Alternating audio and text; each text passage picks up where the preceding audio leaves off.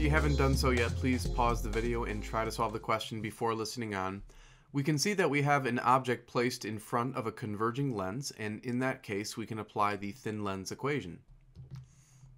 And in that equation, we have 1 divided by the object distance plus 1 divided by the image distance equaling 1 divided by the focal length.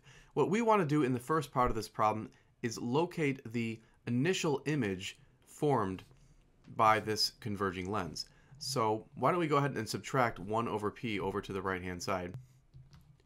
And then in order to solve for the image distance i, we can reciprocate both sides of the equation. In effect, that would be raising each side to the negative 1. That's going to bring the image distance up into the numerator.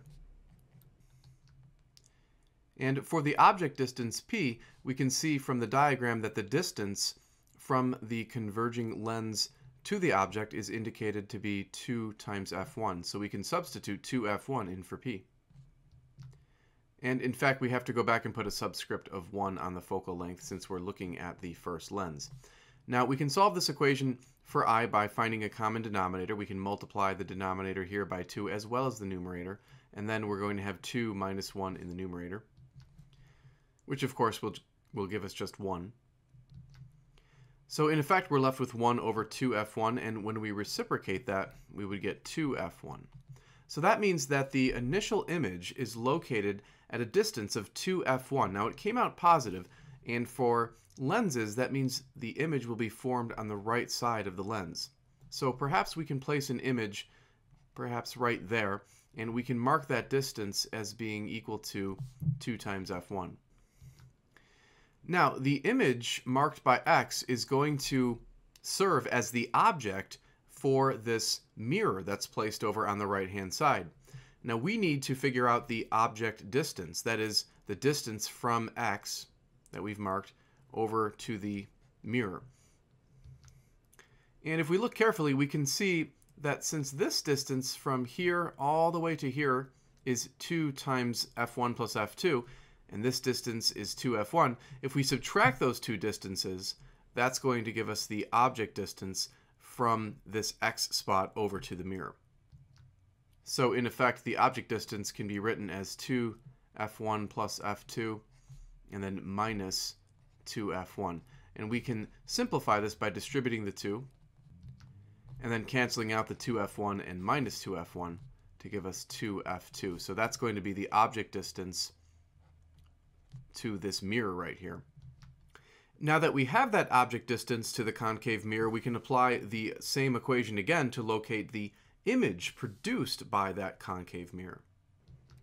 So here is that equation. Notice we're using f2 this time because that is the focal length of the concave mirror. We're trying to find the image distance produced by the mirror, so let's once again subtract 1 over p to the other side.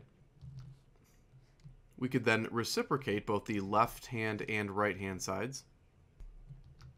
And then for the object distance, remember we had just found that to be 2f2, so we could substitute that into the equation. To simplify the expression on the right-hand side, we'll need to find a common denominator, so let's multiply the denominator here by 2 as well as the numerator. That's going to give us 2 minus 1 in the numerator, which of course can simplify to 1. And then if we reciprocate the right-hand side, we can see that the image distance becomes 2f2.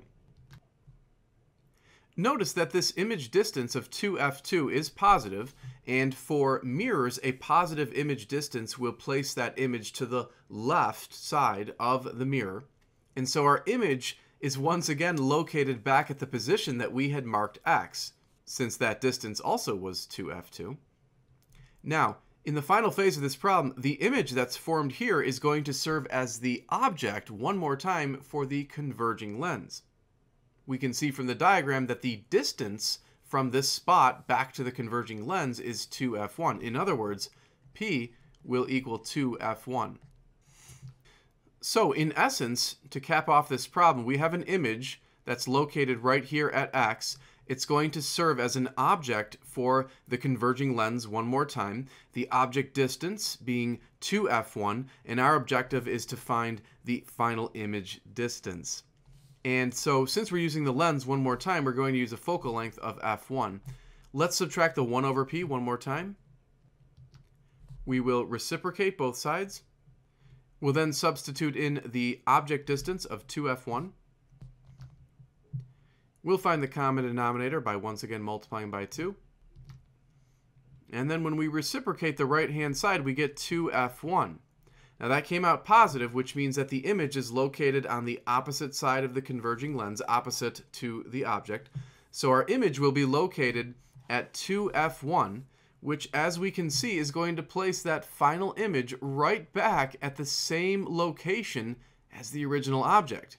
So when the question in part A asks what is the distance between the object and that final image, well the answer will be zero because the image and the object are basically superimposed right on top of each other. Furthermore, since that image distance was positive, that's going to render the image as being real. And so finally, we have answered both parts of the question. Thanks for watching the video. If you liked it, please click the thumbs up icon and subscribe. Also, send in your own question to the email address shown on the screen, and I'll do my best to respond to it on YouTube.